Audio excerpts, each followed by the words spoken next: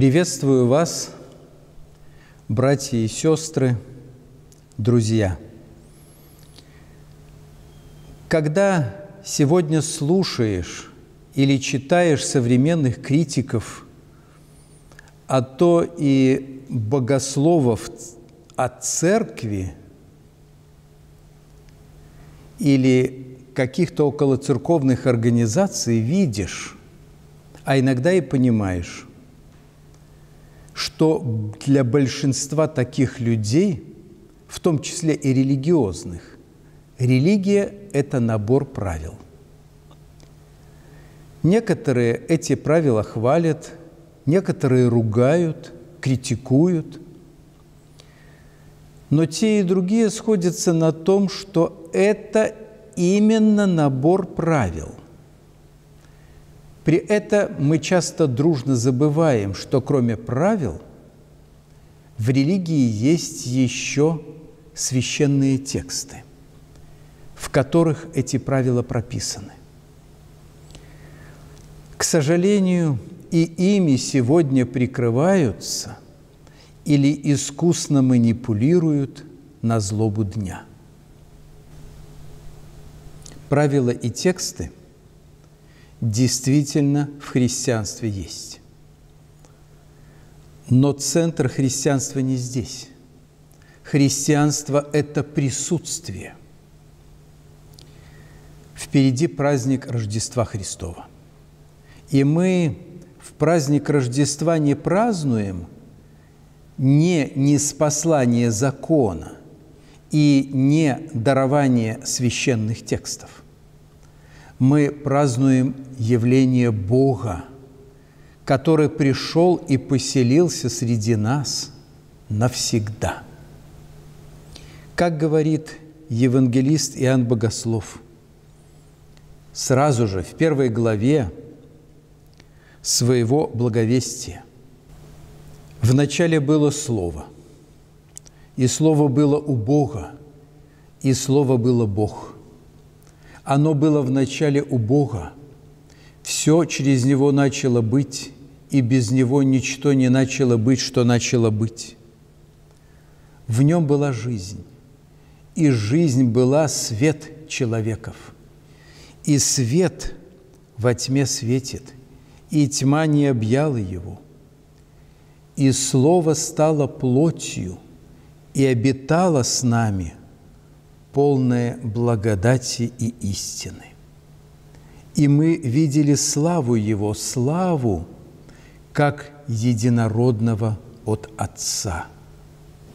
Греческий глагол, переведенный в синодальном переводе как «обитала», имеет грамматическую формулу, скорее обозначающую «поселилась» и продолжает обитать. Бог воспринял на себя человеческую природу, стал одним из нас, во всем подобным нам, кроме греха. Когда Христос вознесся к Отцу, Он не развоплотился, а десную Отца на небесах пребывает прославленный человек. Более того, этот человек пребывает – среди своих верных здесь, на земле, ибо где двое или трое собраны во имя Мое, там и я посреди них. И вот в другом месте я с вами все дни до скончания века, то есть до конца века. В современном языке слово «Царство небесное» превратилось просто в некий синоним посмертия, загробного мира. «Царство ему небесное» обычно говорим мы о ком-то, кто недавно умер.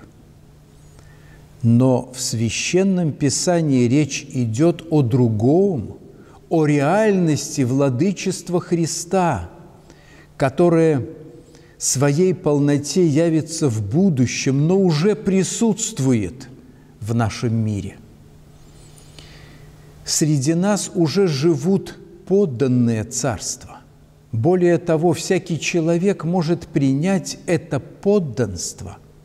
Наступит момент, когда наш истинный Царь Иисус Христос вернется во славе и, как говорит Библия, увидит Его всякое око, но уже сейчас Он присутствует среди своих верных. Христианство – это не набор правил. Христианство – это присутствие. Именно поэтому его нельзя скрестить с другими религиями, как люди часто предлагают. Скрещивать можно наборы правил, но нельзя скрестить присутствие с отсутствием присутствие с отсутствием «я», этого «я», воплотившегося божества.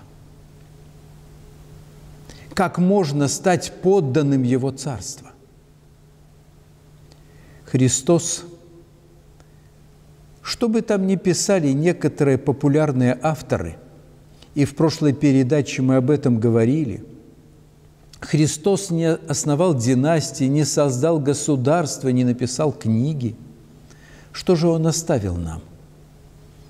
Как мы можем войти в общение с Ним, стать своими Ему? Он сам об этом говорит. «Я создам церковь мою, и врата ада не одолеют ее». Он оставил церковь общину верных, которая хранит и возвещает Его Слово, совершает установленные им таинства и помогает своим членам идти по пути спасения. Само имя Иисуса Христа известно нам потому, что все эти две тысячи лет Церковь провозглашала Его – Само Евангелие дошло до нас потому, что его благоговейно сохраняла и проповедовала Церковь. Даже те люди, которые восстают против Церкви, желая предложить нам какое-то свое послание от имени Христа, даже такие люди вынуждены брать за основу своих построений все то же Евангелие взятое у все той же церкви. Врата ада не одолеют ее, говорит Христос, подразумевая, что они будут очень стараться это сделать. Церковь в определенном смысле называется воинствующей. Она провозглашает истинного царя в мире, охваченного мятежом, в мире, где те или иные ложные цари претендуют на абсолютную преданность. Много раз церковь пытались уничтожить чисто физически. Первые действия предпринимали еще рим, римские императоры. Последние имели место в нашем недавнем прошлом. Недалеком прошлом, относительно недавно. Это мы наблюдаем и ныне. Только сегодняшнее время еще опаснее оно опаснее для церкви тем, что мы наблюдаем попытки подменить послание, которое она проповедует, чем-то другим, заменить благую весть Христа какой-то другой вестью. Может быть, с тем же названием, может быть, рассказанную почти теми же словами, но другую. Вот такие попытки в истории церкви получили название – ересей. Поэтому так важно единство. Единство и преемственность веры. Ведь церковь по всему лицу землю, земли со времен апостольских непрерывно проповедует одну и ту же истину, одну и ту же веру, выраженную во множестве свидетельств.